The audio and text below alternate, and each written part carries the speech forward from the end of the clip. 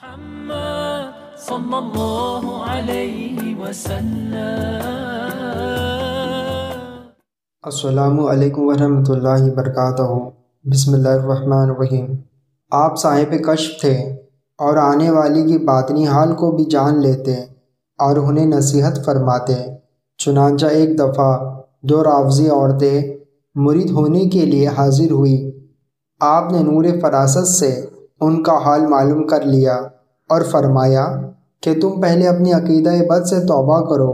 उनमें से एक आपके कमाल से कायल होकर तौबा करके दाखिल बैत हो गई और दूसरी को तौफिक ना हुई। नाजरन आज मज़ार मुबारक की ज़्यारत कर रहे हैं।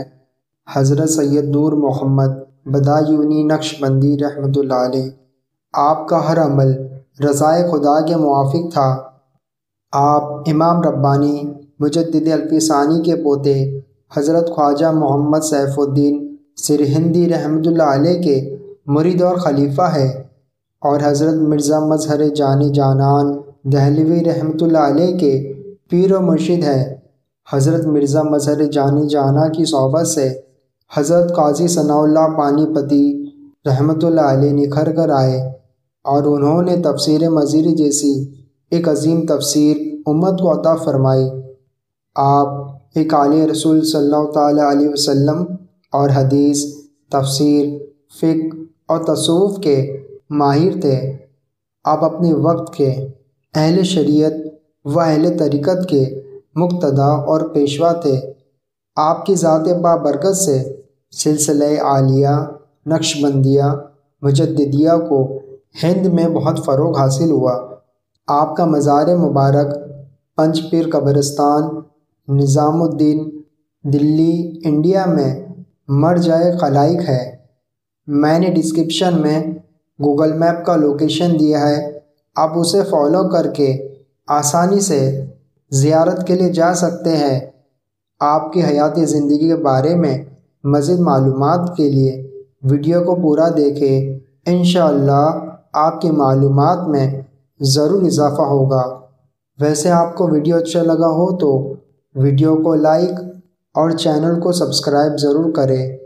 चलिए ज़ियारत जारी रखते हैं।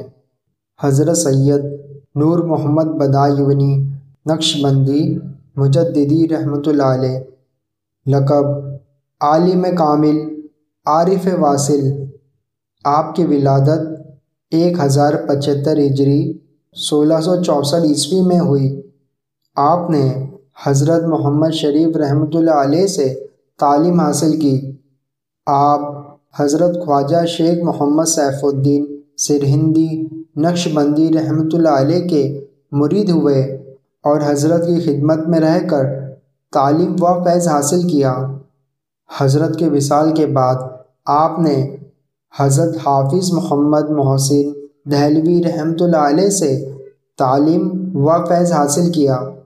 आप हर अमल सुन्नत रसूल सल्लल्लाहु अलैहि वसल्लम के मुताबिक करते। पूरी ज़िंदगी आपके दस्तरखान पर एक साथ दो सब्ज़ियाँ नहीं रखी गई। आप कभी अमीरों की तरफ़ से भेजा गया खाना नहीं खाते और फरमाते कि बहुत कम मुमकिन है कि अमीरों का खाना हराम माल से पाक हो। आपके पड़ोस में एक शख्स रहता था, उसने मंशियात फरोशी, यानी नशा लाने वाली चीज़ बेचना शुरू की। आपने फरमाया, मंशियात फरोशी की तारीकी हमारी रूहानी सफ़र में रुकावट डाल रही है। आपका एक शागिर्द उस शख्स को ज़बरदस्ती वहाँ से दूर छोड़ आया। जब आपको इस बात का पता चला तो आपने फरमाया, अब हमारी रूहानियत को और ज़्यादा रुकावट हो गई।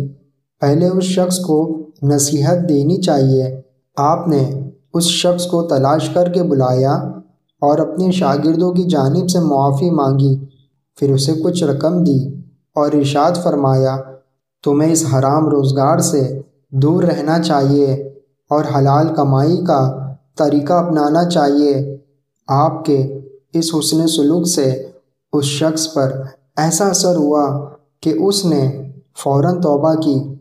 आप साहिब कश्फ थे और आने वाले ज़ायरीन के बातनी हाल को भी जान लेते और उन्हें नसीहत फरमाते। एक मर्तबा, एक मुरीद रास्ते में गैर महरम औरत को ताक कर आया। जब वो आपके पास आया तो आपने फरमाया, तुम में से जिना की तारीखी दिखती है। लगता है कि तुम किसी गैर महरम औरत को ताक कर आए हो। फिर आपने अपनी फैज से उसकी रूहानी तारीखी दूर फरमाई। सुबहान अल्लाह एक मर्तबा, एक मुरीद शराबी से बात कर रहा था। आपके पास आया। आपने उससे फरमाया तुमसे शराब की तारीखी दिख रही है। लगता है कि तुम शराबी से बात करके आए हो। एक मर्तबा, दो औरतें आपका इम्तिहान लेने के इरादे से आपकी बारगाह में आई और कहा कि हम आपसे बैत करने के लिए आए हैं।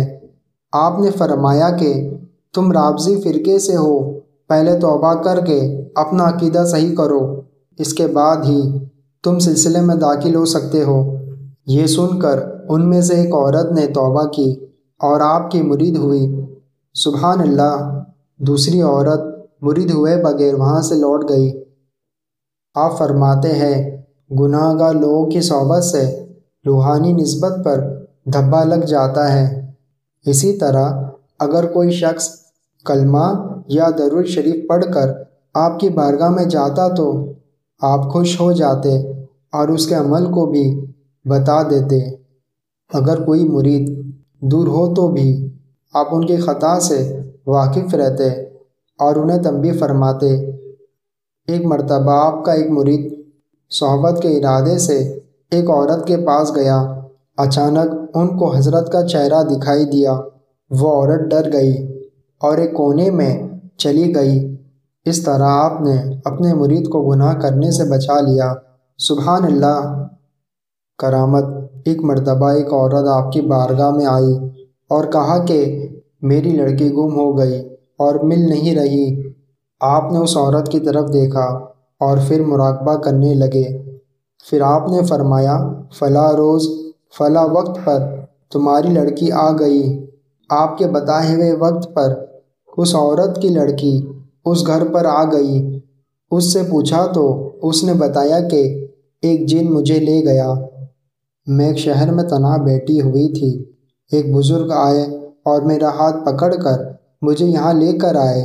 सुबहान अल्लाह किसी ने आपसे पूछा कि आपने उस औरत को थोड़ा इंतज़ार कराया और फिर कहा कि उसकी लड़की वापस आ गई है।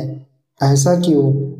आपने फरमाया कि मैंने मुराकबा करके अल्लाह से गुजारिश की, अगर मुझमें वहाँ तक पहुँचने की ताकत है तो तेरे करम से मुझे मदद फरमा। अल्लाह ने मुझे वो ताकत अदा की और फिर मैं आगे बढ़ा। और उस लड़की को हिफाजत के साथ वापस लेकर आया। आप हज़रत ख्वाजा शेख मोहम्मद सैफुद्दीन सिरहिंदी, नक्शबंदी, रहमतुल्लाह अलैह के मुरीद और ख़लीफ़ा है। हज़रत हाफिज़ मोहम्मद मोहसिन दहलवी रहमतुल्लाह अलैह ने भी आपको खिलाफत अता फ़रमाई है।